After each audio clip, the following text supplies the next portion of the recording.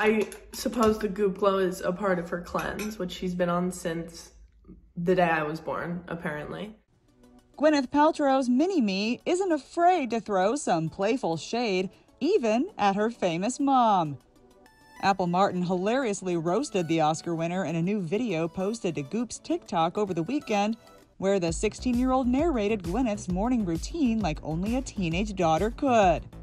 Apple started off by poking fun at her mom's notoriously healthy diet before teasing the A-lister about how much time she devotes to skincare even before 8 a.m.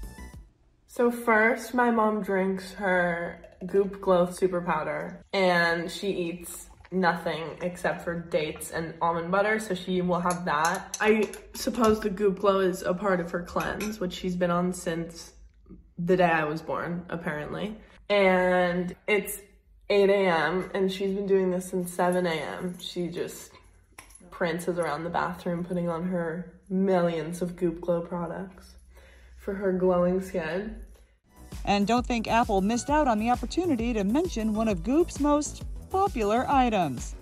Yeah, then she gets to work making some more vagina eggs and candles, also vagina candles, and vagina perfumes and just everything vagina.